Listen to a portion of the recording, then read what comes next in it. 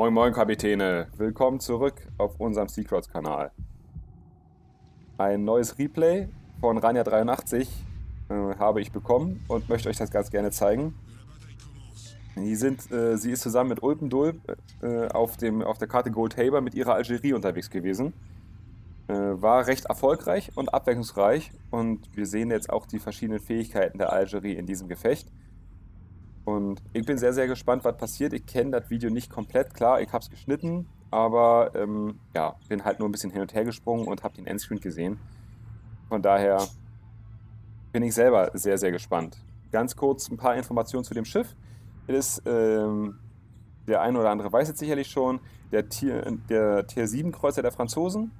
Äh, hier in der B-Rumpf-Variante, also schon mit der verbesserten Ruderstellzeit, der verbesserten Flak. Ähm, und hier 35.600 Trefferpunkten. Ja. Standardlich schießen die Geschütze äh, 16,3 Kilometer weit. Das sieht man jetzt ja hier auch. Äh, die Feuerleitanlage ist hier nicht ausgebaut. Und wir haben hier 203 mm Rohre auf vier Türme verteilt, A2 Rohre. Die HE-Brandwahrscheinlichkeit liegt bei 15% ohne Flaggen und ohne Skill. Und mal gucken, wie oft hier angezündet wird.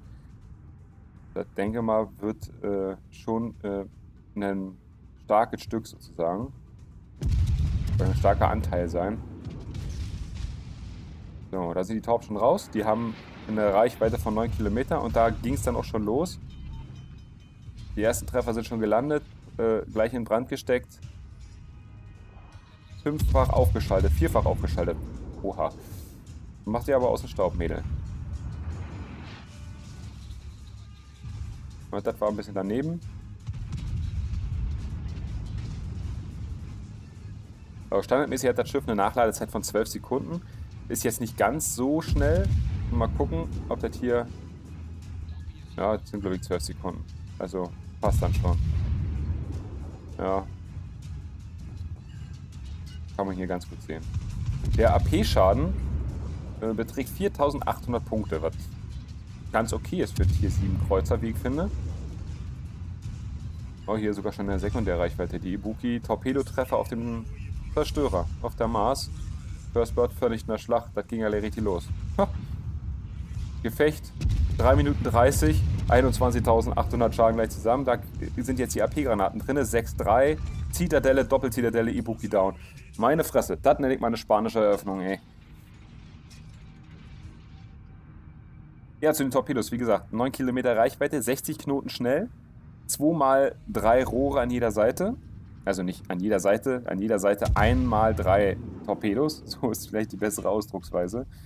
Und was ich auch ganz interessant finde, als ich mich auf diese Replay äh, vorbereitet habe, ähm, wenn du hier den B-Rumpf drin hast, dann hast du eine Ruderstellzeit von 9,5 Sekunden.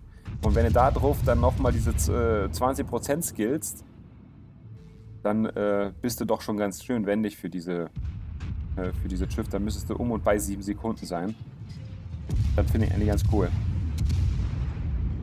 Bin selber jetzt erst bei der Lagasionnaire, aber kurz davor die Algerie freizuschalten. Äh, Rania ist jetzt quasi schon bei der Charles Martel. Das ist einer der älteren Gefechte von ihr. Ja, also Und wie immer bei den Kreuzern heißt es bloß keine Breitseite zeigen. Das ist auch bei den Franzosen so. Ein bisschen zu wenig vorgehalten. Ja, das geht dahinter.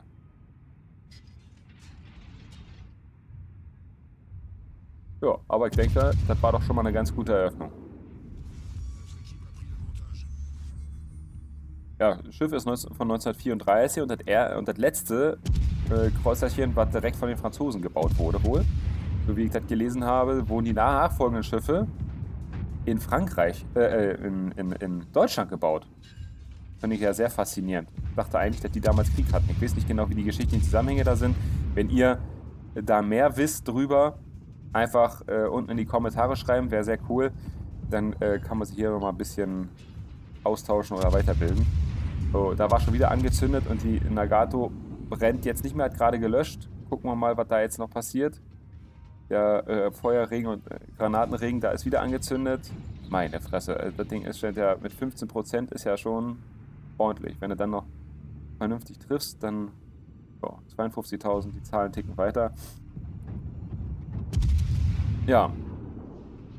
Also, scheint Spaß zu machen. Ich freue mich schon so ein bisschen darauf, wenn ich dieselbe die Algerie habe, wenn ich mir das hier so angucke. Ist sicherlich jetzt auch ein optimales Gefecht, aber nächsten Granaten unterwegs. North Carolina brennt auch, was das Zeug hält. Auch so eine Sache, die jetzt als nächstes Jahr demnächst in World of Warships kommt, ist, sind ja die neuen Brandanimationen, die jetzt bereits auf dem Asien-Server getestet werden. HE-Animation, äh, Brandanimation, Torpedo-Animation, das wird jetzt alles demnächst irgendwann mal überarbeitet. Wann es kommt, weiß keiner. Es gibt aber ein paar Videos, unter anderem bei uns auf der Facebook-Seite äh, zu, ähm, zu sehen. Und ja, ich denke, ist vielleicht das eine oder andere Interessante dabei. Schaut einfach vorbei. Facebook.com äh, slash Seacrowds. Bei der Gelegenheit, äh, bei der Sache möchte ich gleich nochmal darauf hinweisen. Wir sind Mitglied in der European Community, also World of Warships European Community. Ihr habt das Banner wahrscheinlich am Anfang gesehen. Wenn ihr Bock habt, äh, euch dieser European Community mit anzuschließen, meldet euch einfach. Ist eine geschlossene Gruppe. Ich werde sicherlich wenn ihr euch da meldet, relativ kurzfristig akzeptiert werden. Würde uns freuen, da Seacross auch Mitglied ist, beziehungsweise ich selbst als Maracher. Ähm, Wäre das sicher eine tolle Sache, wenn man äh, auf dem Euro wir spielen auf dem europäischen Server, also sollten wir auch äh, eine gemeinsame Gruppe haben, die nationale Ebene halt nochmal dementsprechend erweitern.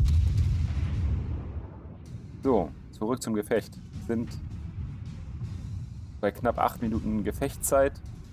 Der Gegner liegt schon von der Schiffsanzahl her ganz gut zurück, von den Punkten her auch. Und die wissen nicht so ganz genau, was sie jetzt machen sollen, weil von uns auf der rechten Seite von der grünen, vom grünen Team eine Kagero hat sich schon unterfahren oder hinterwandert. Eine Shanos und New York hält die so ein bisschen auf, der, auf Trab. Die halten sich aber geschickt zurück offensichtlich und hier vorne findet der Push statt. Die North Carolina ist so ein bisschen auf sich gestellt mit der Belfast zusammen. Und hier steht ein starkes Team. Die Tierpitz auf der rechten Seite bei E6 möchte sich jetzt quasi in eine bessere Position bringen. Also er macht das schon, äh, nutzt nur die Frontgeschütze.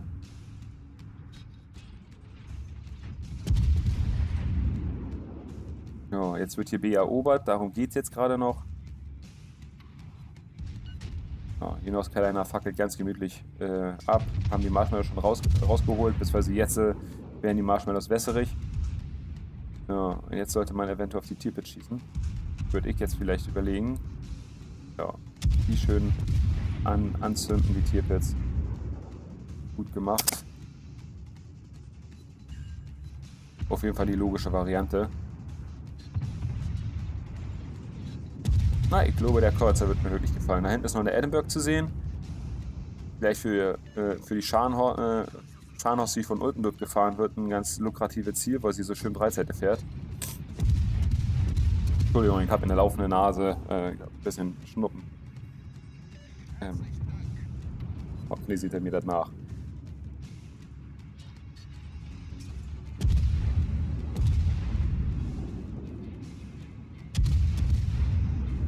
Schon 800 Punkte zusammen, zwei Cap Points, also im Moment hat keiner Vor- und Nachteil. Wieder abgefackelt bei der Tierpitz. Vielleicht zweimal. Wir sind jetzt schon bei 86.000 Schaden und selber hat, man, hat sie fast nichts kassiert. Oh, ich denke, das ist gar nicht so schlecht gefahren.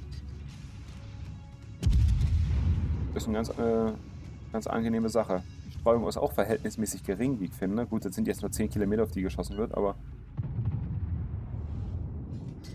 Bahnhaus schießt auch nochmal mit HE. Oh, die Tierpest hat sich auch erledigt, denke ich mir mal. Das war die Tierpits. Jetzt sind wir bei knapp 100.000.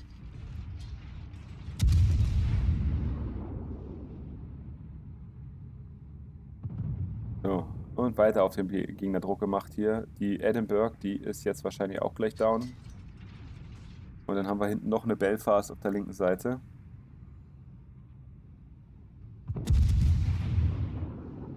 Die Edinburgh hat es hinter sich.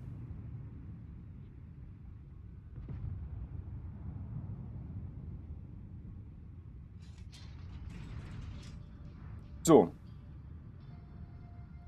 Das war quasi schon so gut wie der kurz der Mezzo. Jetzt wird jetzt gleich noch die Belfast aufgeklärt werden. Ja, da ist der Nebel schon. Ich möchte mich jetzt schon mal bedanken für Zusehen. Äh, Wenn es euch gefallen hat, lasst gerne äh, einen Daumen nach oben da oder Feedback allgemein. Wir freuen uns auch über jedes Abo äh, von dem Kanal hier. Dann verpasst ihr jetzt auch in Zukunft unsere Preview-Videos nicht. Und ähm, ja, ab und zu werden wir auch ein Replay oder ein Livestream online stellen. Von daher wären wir euch dankbar, wenn ihr, wenn ihr da halt einen Daumen nach oben da lasst und, und, ein, und ein Abo eben. Ne? Das wäre halt ganz toll.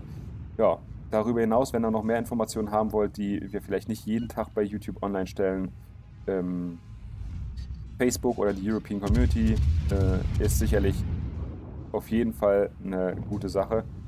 Und ja, in dem Sinne, vielen, vielen Dank fürs Zusehen. Jetzt hier noch der Abschlussscreen. Äh, 100.000 Schaden, 4.700 Erfahrung ist, denke ich, schon eine ganz coole Nummer. Ja, ich hoffe, ihr hattet Spaß dabei. Tschüss, euer Maracha, euer Secrets Team.